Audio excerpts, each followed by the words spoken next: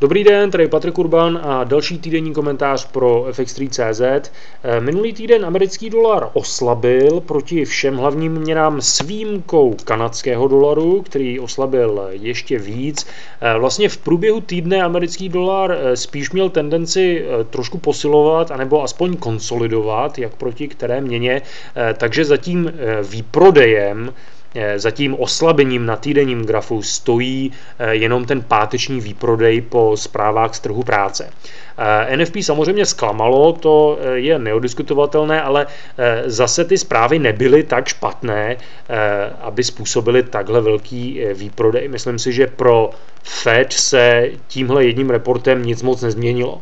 Eh, pakliže bude NFP eh, slabší i příští měsíc, tak potom už by to mohlo začít něco znamenat, ale myslím si, že zatím se nic nezměnilo, takže eh, spíš bych bral tenhle výprodej, nebo ten páteční výprodej, jako příležitost nakoupit dolar na lepších hodnotách. Samozřejmě, že uvidíme, kam se trh vydá, ale myslím si, že ty zprávy nebyly tak špatné, aby způsobily prostě obrat trendů a eh, nějaké, nějaký další výprodej. Eh, těch zpráv v průběhu týdne bude několik, vlastně každý den, kromě pondělka máme nějaké důležité zprávy, takže rozhodně dívejte se na ten ekonomický kalendář. Co se týče zpráv z minulého týdne, tak jsem jenom chtěl zmínit pondělní úspěšné nominování Janet Yellen na místo šéfa amerického Fedu. Ehm, tohoto úřadu se ujme 1. Eh, února a eh, je to vlastně poprvé ve stoleté historii této instituce, kdy eh, ten, tuhle instituci povede žena. Takže co se týče, na, co se týče grafů, tak pro mě se tady zase až tak nic moc nezměnilo.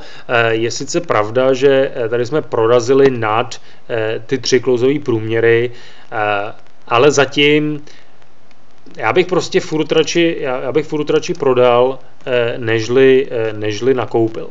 Takže pro mě teď bude důležitá ta hodnota eh, těch 38.11 bude samozřejmě že jo, kritických. Pak, když prorazíme tam a uzavřeme, no tak pravděpodobně jdeme trošku vejš, ale eh, já bych pořád raději měl eh, tendenci prodávat, nežli, nežli nakupovat.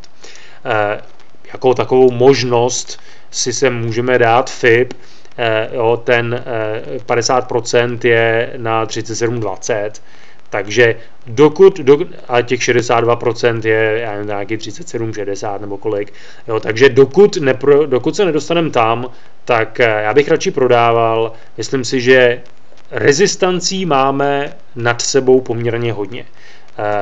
Takže já bych, já bych pořád radši, e, radši prodával samozřejmě z toho střednědobího e, pohledu, aspoň na pár, na pár dní že pak, když máte take profit prostě 20 bodů, tak, eh, tak, je, tak, tak je to spíš o načasování toho obchodu, ne o tom, eh, jakým směrem se trh vydá. Protože opak, když máte 10-20 eh, bodů take profit, takže můžete, můžete prodávat i v hodně velkým uptrendu. Spíš jde o to prostě, kdy přesně vstoupíte do, do pozice. Takže tady pro mě osobně se, eh, se tím pátkem nic moc nezměnilo, i když, i, i když za normální situace, když, když takhle vidím konsolidaci, po který uzavřeme vysoko, nebo kterou prorazíme na sever, tak bych spíš řekl, že to znamená, že prostě trh chce jít dál, ale tentokrát, eh, tentokrát se pro mě nic nemění. Eh, Sterling je na tom trošku jinak. Všimněte si, jak Sterling zůstal Eh, smažu tu trendovou čáru, jak zůstal uvnitř těch třech klouzových průměrů, ta, č, ta páteční svíčka vypadá nádherně, myslím si, že tady, tady prostě má Sterling šanci dál posilovat. Zatím bych Sterling neprodával. Kdybychom se dostali třeba zase na tyhle ty maxima, prostě 66, tak tam prodat a sadit na to, že eh, se vytvoří dvojitý strop, ale zatím prostě, že ten uptrend pokračuje, to je, eh, to je zřejmý, takže tady nemá smysl eh, nic, tady nemá smysl prodávat. Kdyby jsme se dostali zpátky někam na 63, 96, 64, plus minus pár bodů, tak tam spíš znova do longu, protože tyhle ty tři minimální hodnoty, všimněte si, Eh, jak jsou blízko sebe. Jsou prakticky na, na prostě, ne, ne, že by to bylo na pip přesně, ale prostě pár bodů. Takže eh, nakoupit na 64 a stop loss pod těma třema minimálníma hodnotama vypadá dobře. Kdyby jsme prorazili nad maximum té páteční svíčky, eh, tak, tak další long. I když upřímně jako kupovat do longu pod takhle velkou, eh, pod, takovýmhle, pod takovouhle rezistencí se mi nechce. Takže já bych tady prostě počkal. Eh, moc se mi do, eh, otevírat pozice na tomhle měnovém páru se mi nechce. Dolar proti švýcarskému franku, tak ten vypadal, ten vypadal velmi slušně. Vlastně tady jsme krásně rostli ve čtvrtek jsme se trošku vrátili zpátky, ale pořád to vypadalo dobře. Ten pátek byl eh, poměrně velkým překvapením. Eh, uzavřeli jsme velmi slabě, takže to by značilo eh, možnost dalších ztrát. Pro mě teď bude důležitá hodnota, i schválně, schválně to takhle posunu, na těch 89,90 protože tady máme že jo, předcházející minimální hodnoty, tady máme tu maximální hodnotu. Teoreticky, že jo, po proražení té, té rezistance by se tahle hodnota měla přeměnit na support, takže uvidíme, ale eh, dokud zůstaneme na těch 89-80, tak já bych pořád radši nakoupil. Pak, když máte eh, aspoň trošku dlouhodobější horizont, tak si myslím, že dolar na těchto hodnotách je pořád ještě docela zajímavý. A dolar proti japonskému jenu, tak tady to vypadá, že ten, eh, že ten trend opravdu jako už je, eh, už je hodně unavený a nedivil bych se, kdyby, eh, kdyby došlo, pak, když dojde k dalšímu, pak, když dojde k propadu pod to páteční minimum, tak by to mohlo způsobit takovou tu klasickou vlnu stoplosů, kdy že kvůli aktivaci jedněch stoplosů se trh posune dál, aktivuje další stoplosy a prostě pak to jede jako lavina a mohli bychom spadnout výrazně níž já jsem o tom mluvil už několik týdnů. Eh, měli jsme tady slušný trend, eh, který začal prostě před eh, dvouma měsícema.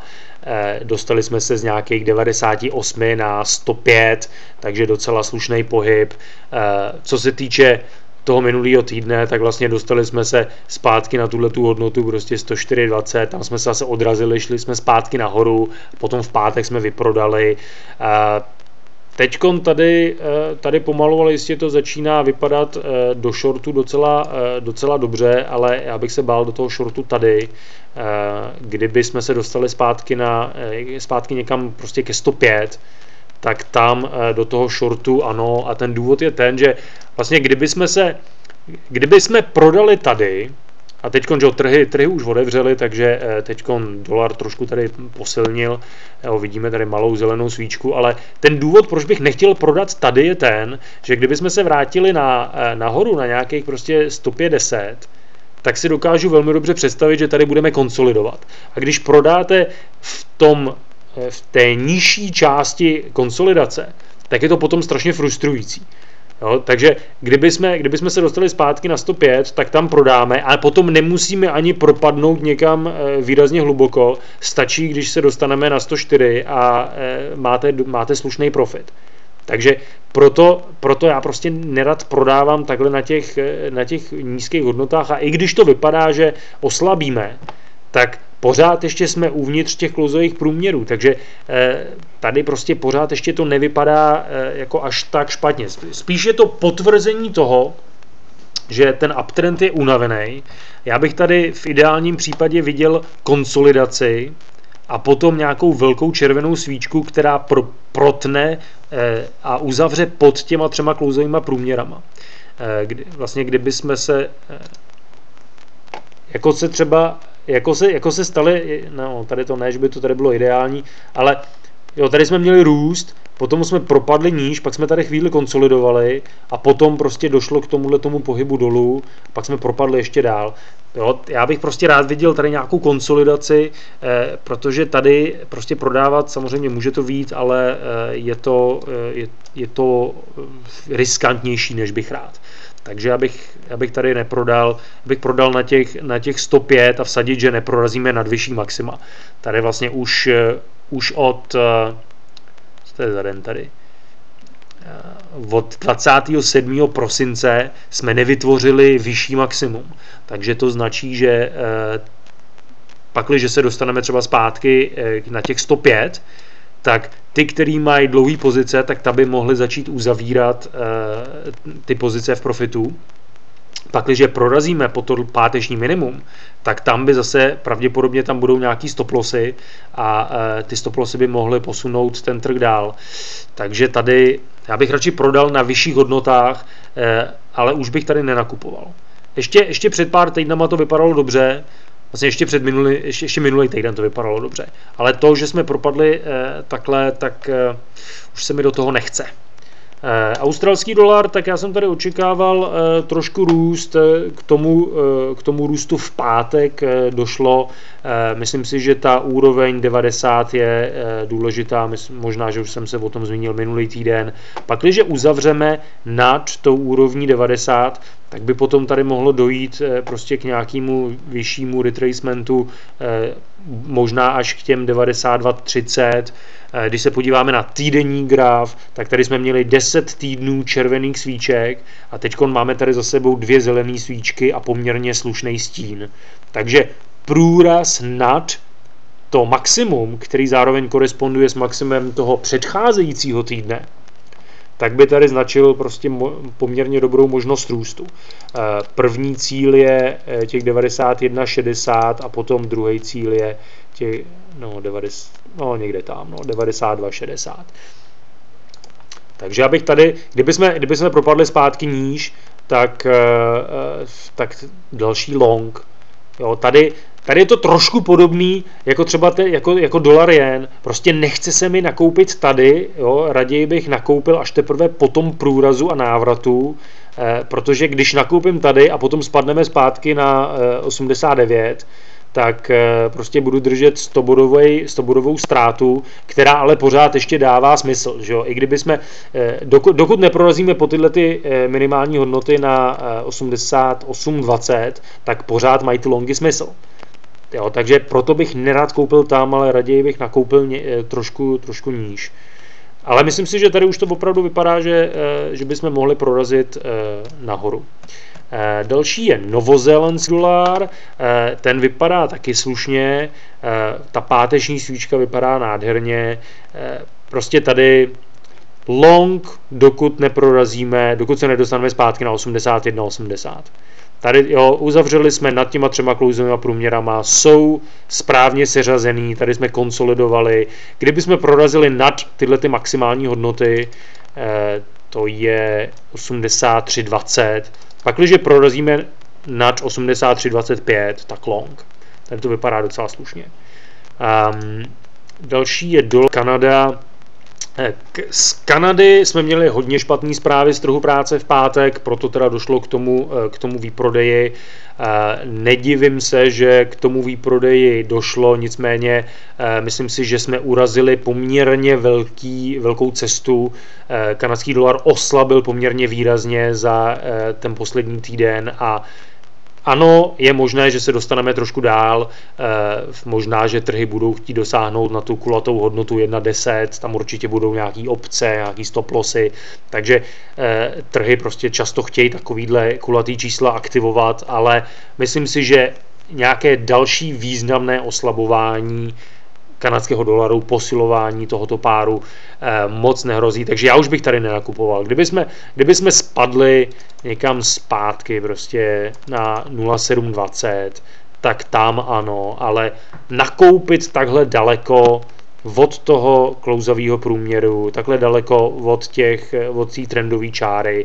Eh, prostě ten pohyb byl poměrně velký a já mám problém nakupovat pod takhle velký zelený svíčce. Samozřejmě, že ten trend je tady jasný, eh, je silný, ale jsme prostě moc daleko. A když se podíváte na některé další páry, když se podíváte na euro proti kanadskému dolaru nebo sterling proti kanadskému dolaru, tak opravdu tam jsme, tam jsme za minulý pohyb udělali já nevím kolik, ale prostě mnoho set bodů, jak je 500, 600 bodů. Jo, takže eh, nakoupit po takhle velkým pohybu se mi opravdu nechce. Spíš si myslím, že ten kanadský dolar by mohl trošku skonsolidovat, a, a nebo aspoň jako ne, ne, neoslabovat dál. Takže mám pocit, že pravděpodobně v průběhu příštího týdne toho moc, ne, moc toho nebudu obchodovat.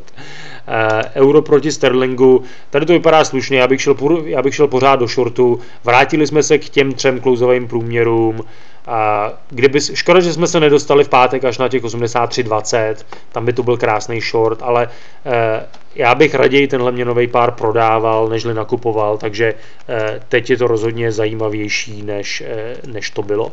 Dokud neprorazíme nad tuhle tu trendovou čáru, tak short. A minimálně jsme se, že jo, to, to byl čtvrtek. Ne, že bychom se dotkli přesně, tady typ rozdílu, ale eh, skoro. A teď se ještě můžeme podívat na euro proti australskému dolaru. Tady jsme se dostali k té hodnotě 1,5160. Eh, eh, tady prostě to vypadá do toho longu docela slušně, kdyby jsme, kdyby jsme prorazili dál, tak já bych viděl long na 51,66 s tím, že pokud by došlo k průrazu po tyhle ty minimální hodnoty, tak, eh, tak tam, tam by měl být stop loss a eh, já bych nenakoupil na těch 1,50. Eh, tuhle trendovou čáru smažu, protože kdyby tady došlo k průrazu pod tyhle ty minimální hodnoty, tak potom můžeme začít přemýšlet o jako hlubším retracementu a když si sem dáme FIB, Tady je hezký, jak těch 1,50, to jsem, to jsem nevěděl, že těch 1,50 tady pěkně koresponduje s těma 38%. 50% je 48,20. Eh, Takže pakliže eh, já bych osobně do, těch, do toho longu na 50 nešel, eh, ten long by mohl být zajímavější spíš na, na těch 48,20. Takže tady long na současné hodnotě kdyby, jestli prorazíme níž, tak už bych do toho longu dál nešel. Sterling proti švýcarskému franku, tak eh, ze začátku týdne nám to vycházelo krásně, eh, ono vůbec vlastně celý tenhle ten pohyb nám vyšel dokonale, teď za ty poslední dva dny prostě jsme se vrátili, ale zase, že vrátili jsme se zpátky k těm klouzovým průměrům, tak jak to mám rád, jsme pořád ještě nad tou vyznačenou support zónou, takže tady longy pořád ještě dávají smysl. Tady No ono vůbec tady, jako i kdyby jsme spadli někam na, na 1,46, tak já bych pořád radši do longu nebo, nežli do shortu. Tady se mi prostě shortovat nechce. Uh, australský dolar proti novozélandskému dolaru, tak tady vypadá hezky. Jak jsme, se, jak jsme se krásně tady dostali na to, eh, vytvořili jsme to dvojitý dno, eh, dva dny rosteme a upřímně tady nechce se mi teď do toho. Kdybych, kdybych měl pozici na těch 0,730, tak eh, bych ji nechal běžet, protože eh, tady jako existuje dobrá šance, že prostě prorazíme výš, ale jsme pořád ještě v těch třech klouzových průměrech, eh, jo, který že dávají tu, tu dynamickou rezistanci. Takže tady z hlediska trendu je to pořád short a na long jsme už moc vysoko. Takže prostě abych tady, abych tady do té pozice nešel. Já v pořád čekám, kdyby jsme se dostali prostě k těm 0620, jo, tak tam by to bylo hodně zajímavé, ale eh, prostě nakoupit na 0,8 eh, s tím, že bych chtěl nakoupit znova na 0,6, tak to je, pro, to je prostě moc daleko. Eh, takže tenhle pár radši nechám stranou, ale byl bych rád, kdyby, kdyby jsme dál oslabili, to by, bylo, to by byla hodně zajímavá hodnota tam nakoupit. Poslední bude zlato, tady dál e, rosteme. Vlastně po tom, co jsme se tady dotkli toho supportu, tak dál rosteme. E, pro mě se nic nemění. E, držet dlouhý pozice, dokud se nedostaneme na 1265. Pakliže, pakliže máte v preferenci na to obchodovat pásma, tak tam short a spekulace na další návrat na 1180, pakliže eh, chcete spíš spekulovat na trend, tak tam uzavřít třeba půlku a nechat druhou půlku běžet s tím, že bychom se mohli dostat zpátky na těch 1360. Eh, vlastně tady po hodně dlouhé době, naposledy to bylo v říjnu, jsme se dostali nad ty tři klouzové průměry a uzavřeli poměrně silně. Takže tady to spíš značí, že, by, jsme, že by ten uptrend mohl pokračovat. Všimněte si, že do, od, někdy od začátku září jsme se dostali na ty tři klouzové průměry jenom, jenom tady a trend krásně, nebo cena krásně respektovala ty tři klouzové průměry a zůstala pod ním. Proto bych už tady do toho, do toho shortu nešel. A to je ten důvod, proč bych eh, držel tu pozici o uzavřít půlku na 1260 a držet další půlku eh, na možnost pohybu výš. Takže to je pro tento týden všechno. Přeju vám úspěšné obchodování. Mějte se, na